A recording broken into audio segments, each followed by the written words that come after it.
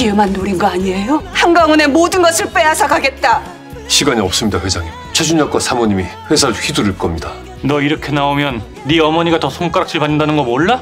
이번 일로 지훈이 실종 건이 드러나게 될 거예요.